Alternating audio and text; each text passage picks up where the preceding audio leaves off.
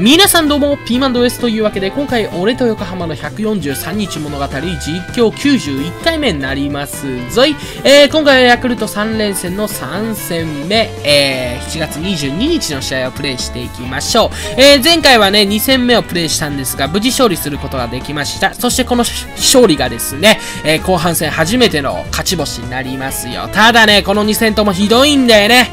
うん1戦目は2対3で負け、2戦目は12対7対、大量援護のおかげで勝てたんだけど、このヤクルトの7点に注目して、もうほんと投手陣がひどいんだよ。早い段階でチームがね、もう大量の援護くれたのにもかかわらず、このピッチャー陣が打たれまくる。安定感ないフォアボール当たれまくり。ほんとクソみたいな中継ぎ陣、クソみたいな投手陣にね、恵まれてますよ、横浜は。横浜がリーグ優勝できない理由はね、野手陣はいいのは揃ってるけど、投手がクソすぎてできねえんじゃないかなと俺は思い出してきてるんですけどね。いやもう今日はスタイリッシュな勝利を求める。グダグダしない。圧倒的勝利をね、求めたいと思います。今回チームがチャンスになると私ピーマンが打撃で操作していくのでね、えー、投手は CP の方に任せましょう。期待するよ。今日のピッチャー砂田。石田の方がいいかもしれないけど、まあ君に任した。お前なら抑えれるという。希望を託しますよ。ほんで今日のベストオーダーは、相手は立山、対右だね。えー、対右に強いオーダーを作っていかないと。荒波リードオフマン、中島を2番に入れようかな。で、梶谷6番、石川7番。ほんでその他ベストオーダーはこんな感じで、えー、前回までギグスというね、僕が取った外国人選手を使ってましたけど、今回からもう2軍に送ったんでね、使いません。また機会があれば使うことはあるかもしれませんが、ギグスなしで勝っていくよ。やってこう。イエース今季18回戦目になりますぞい。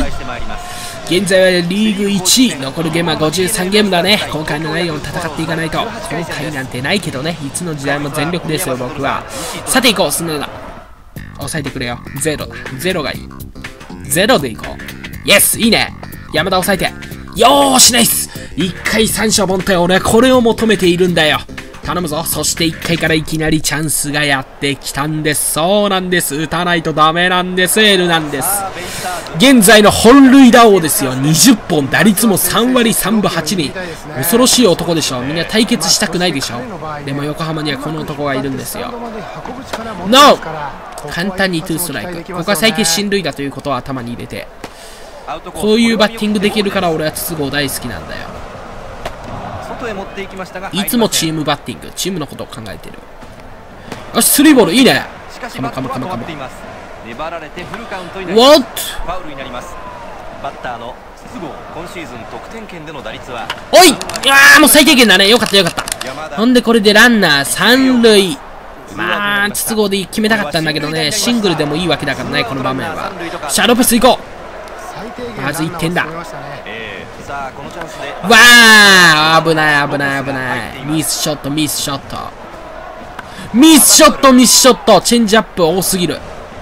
ゆるい球や。全部ゆるゆるや。ガバガバゆるゆるや。うわさすが立山と言っておこうか。サイボーグマン。人体何度も切っても復活してくる男だ。いいピッチャーだよ。でも打てないピッチャーではないからね。しゃ、早い段階でこの砂田に援護をやることだ。頼むぞ。はい、押さえて。What? 中村押さえて。は？立山押さえて。レッツゴー危ないランナー満塁じゃねえか、お前。気をつけて。危ないです。うわグリエル盗塁失敗。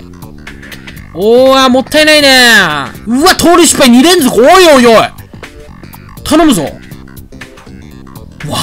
ーおグリエル、梶谷、連続盗塁失敗。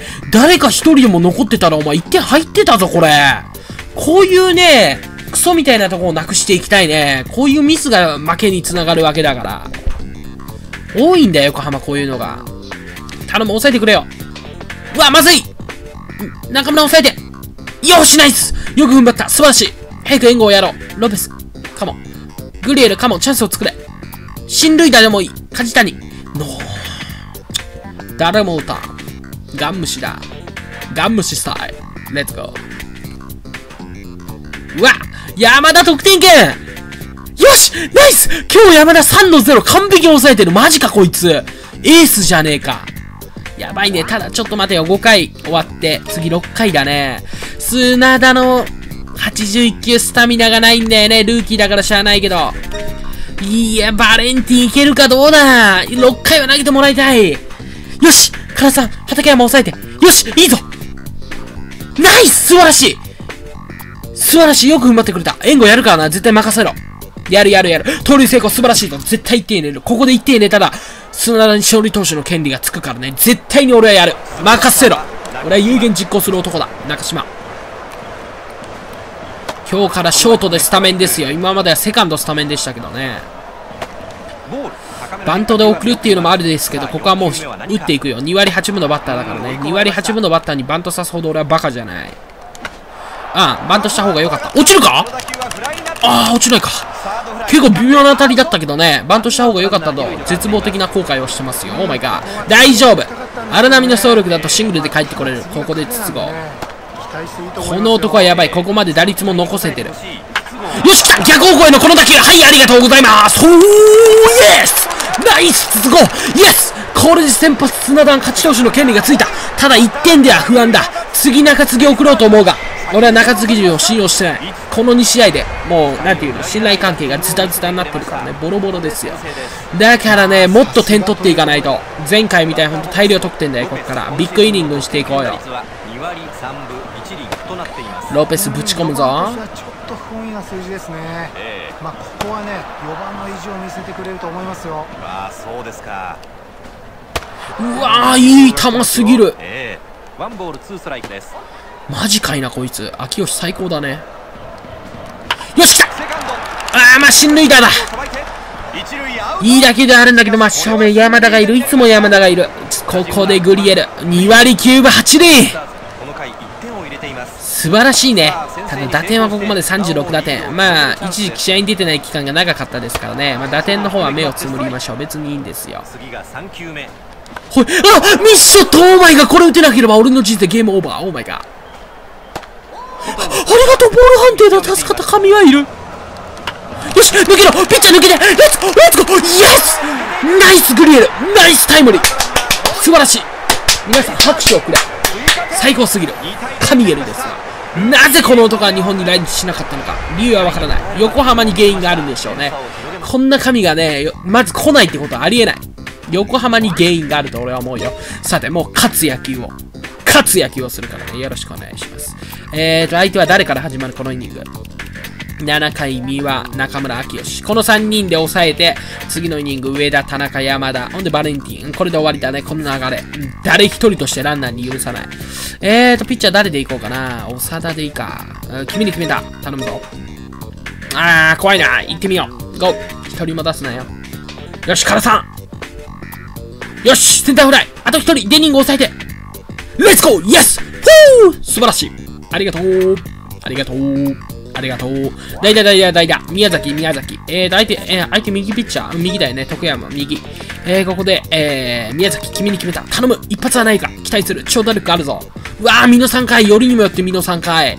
ほんで、ここで山崎行きます。山崎。この男は今まで守護神として使ってきたが、1戦目で打たれて逆転負けしたんでね。セットアッパーとして頑張れ。1人。2人。で、3人切り成功ナイス最後は三上これでゲームセット絶対終わる。よしナイス。得点圏。ただもう1点取っとこう。2点差では怖すぎる。山田じゃないバレンティン出塁で畠山ホームラン。その後の雄平が打つみたいなパターンもあるからね。それで逆転されるのが野球の怖さなんだよね。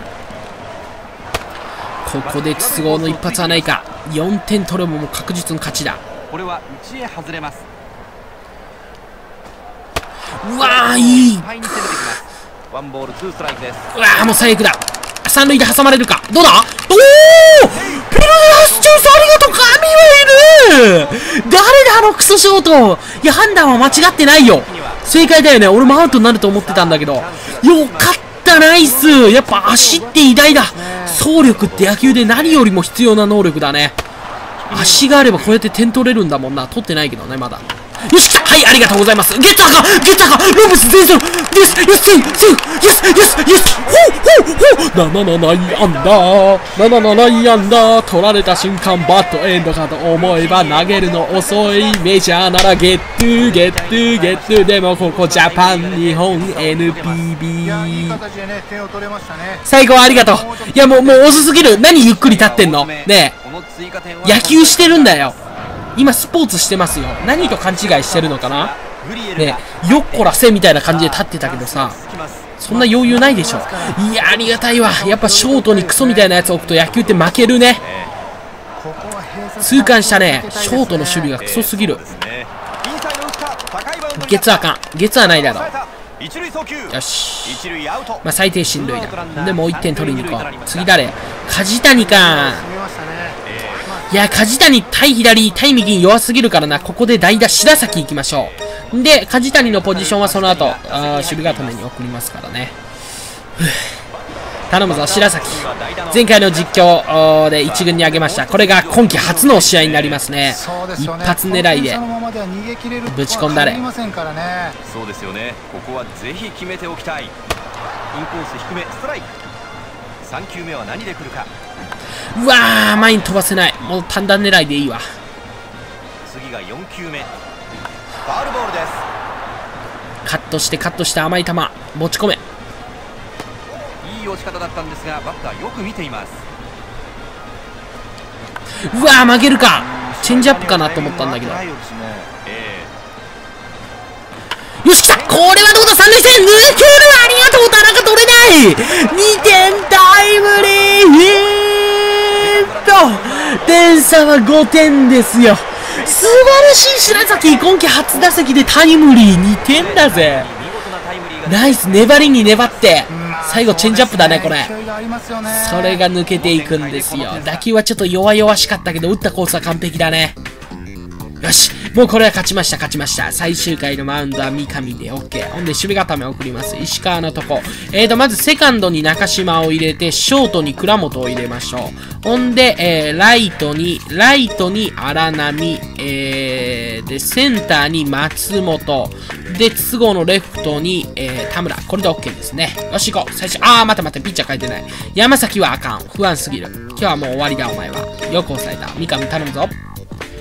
一人。2人、3人ゲームセットほーナイスこの後半戦初戦のカード、ヤクルト戦無事勝ち越しで終えることができました。